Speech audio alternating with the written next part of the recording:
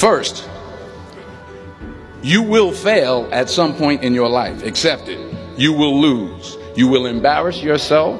You will suck at something. There's no doubt about it. Embrace it because it's inevitable. And I should know.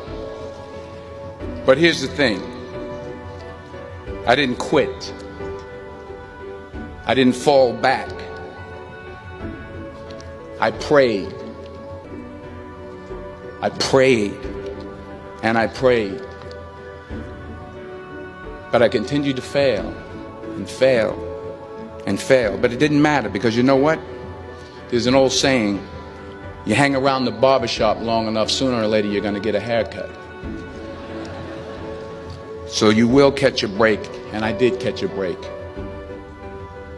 Here's my second point about failure. If you don't fail, you're not even trying. I'll say it again. If you don't fail, you're not even trying. My wife told me this great expression. To get something you never had, you have to do something you never did.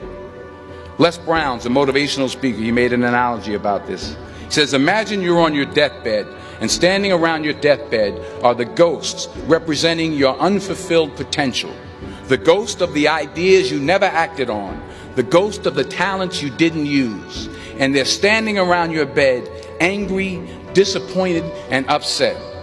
They say, We, we came to you because you could have brought us to life, they say and now we have to go to the grave together. So I ask you today